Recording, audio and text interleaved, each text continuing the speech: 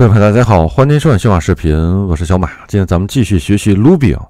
今天咱们的课题是，大家请看啊，特殊循环二。咱们上期是特殊循环一啊，今天咱们再讲二啊。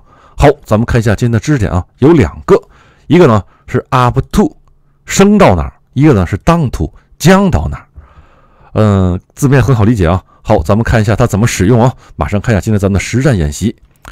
呃，首先是 up to 的使用，咱们上期的循环，呃，是用到这个，咱们看一眼吧，嗯，回顾一下上期啊，用到这个基本的 each 循环没有问题。然后呢，这是一个 times 循环，从零循环到五，就循环到五减一，应该是循环到四。然后这个呢是 step 循环，从一循环到几，然后呢 step 是几？这是咱们上次的复习哦。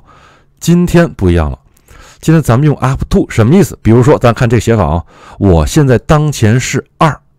我呢想一直循环到五，该怎么写？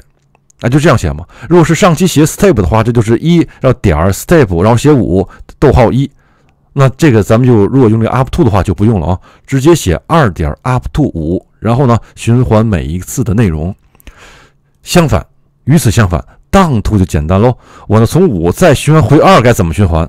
那就是五点 down to 呗，刚才是二点 up to，现在呢是五点 down to，然后呢循环到循环到几？二，然后呢这儿输出每一个循环内容，但是有个注意点啊，呃，它是从二循环到五，而不是说循环到小于等是，而不是循环到小于五啊，它这个地儿是小于等于五，所以说呢从二到五的话，二三四五应该是循环四次。当 to 呢，同理，从五降到二也是呢，五四三二也是四次。这个咱们大家注意啊，它不是大于二，这儿呢不是小于五，注意这个问题就可以啊。好，咱们马上运行，看一下今天的例子啊。我这建一个临时文件，test Ruby，然后把 up to 当 to 考过来。好，咱们实际运行，然后我再开一个控制窗。或者叫做终端啊，叫 Ruby 空格 test 回车，来，大家听出来了吧？嗯，咱们上面这个 up to 呢，是从二循环到五，让我输出 up to 等于，就这个地方，二 up to 等于呢，二三四五，一共循环了四次。下面呢是五降到二，五四三二，大家请看，当 to 五四三二，也是循环了四次。